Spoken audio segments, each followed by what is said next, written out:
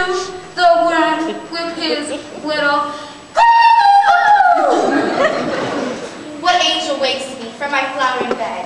I pray thee, gentle mortal, sing again. My ears much nearer thy note, my eye enthralled to thy shape, and thy fair virtues force doth move me, on brisk view to say, to swear I love thee. Methinks, mistress, you should have little reason for that. Yet reason doth keep companies together nowadays.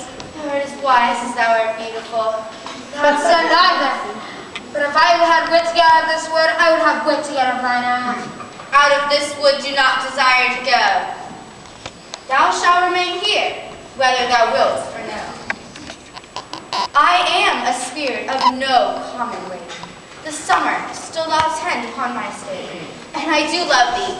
Therefore go with me. I'll give thee fairies to attend on me. Peaseblossom, cobweb, moat, and mustard seed. Ready? And I. And I, and I. Be kind and courteous to this gentleman. Hop in his walks and gable in his eyes. Your name I must know, Pea Blossom. And yours, I would really like to know you.